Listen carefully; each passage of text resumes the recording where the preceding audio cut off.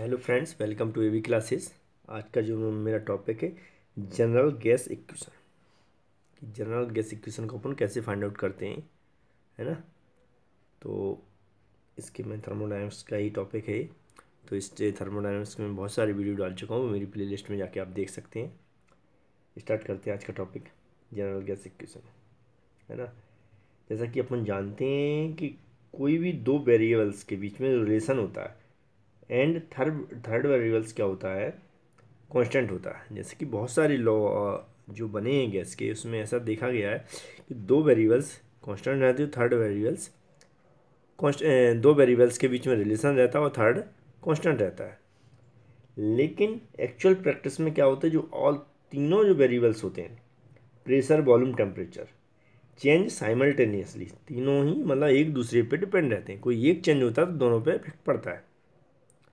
ऐसा कहना है क्या relation between the two variables when the third variables is constant but in actual practice all the three variables that is pressure volume and temperature change simultaneously है ना?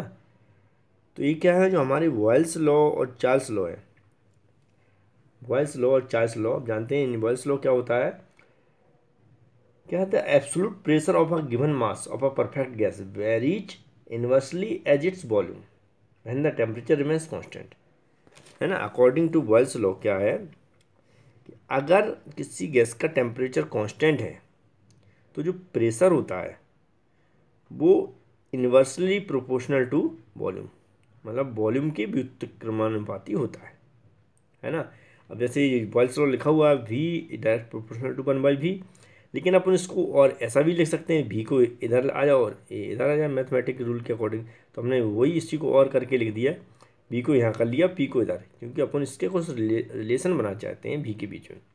तो भी इधर रख दिया और पी इधर रख दिया। तो और करके मैंने ये इक्वेशन न्यू इक्वेशन बना दी, इसी का तोड़ के, है ना? अकॉर्डिंग टू बॉल्स लॉ अब चार्ल्स लॉ क्या है?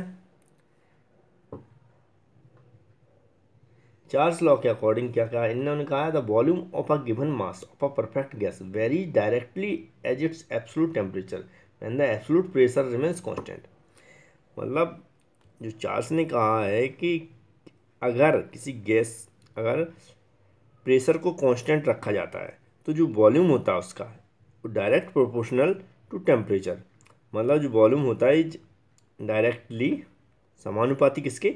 टेम्परेचर के होता है है ना? समानुपाती किसके टेम्परेचर के होता है। एक कहा चार शून्य। ठीक है?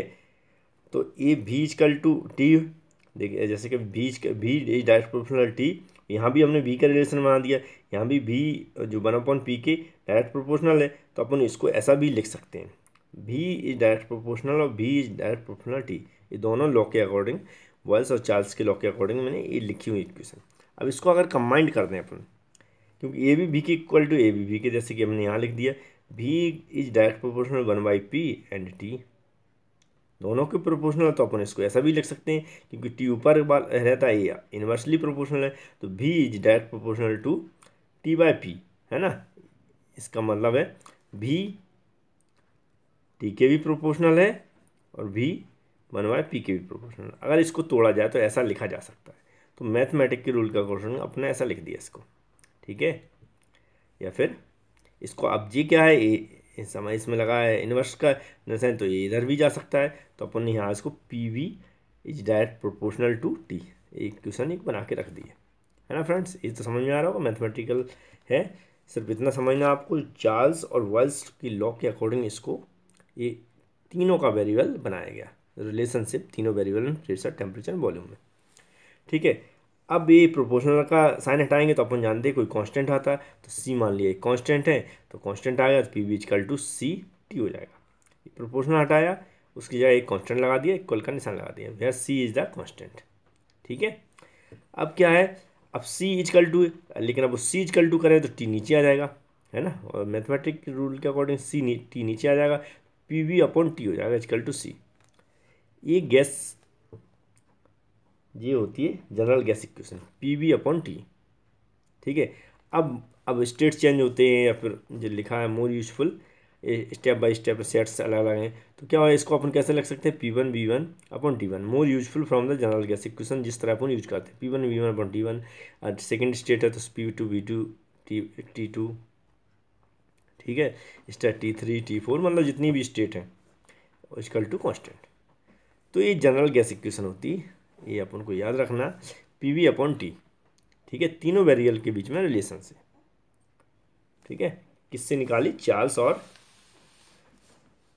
वेल्स लॉ के अकॉर्डिंग तो फ्रेंड्स ये समझ में आई होगी आपको कि बहुत ईजी थी, है? सिर्फ़ अपन को दो रूल्स याद होने चाहिए वेल्स लॉ और चार्ल्स लॉ उनको कंबाइन कर देंगे, उसकी तरह अपनी तीनों वेरिएबल्स में रिलेशन आ जाएँगे।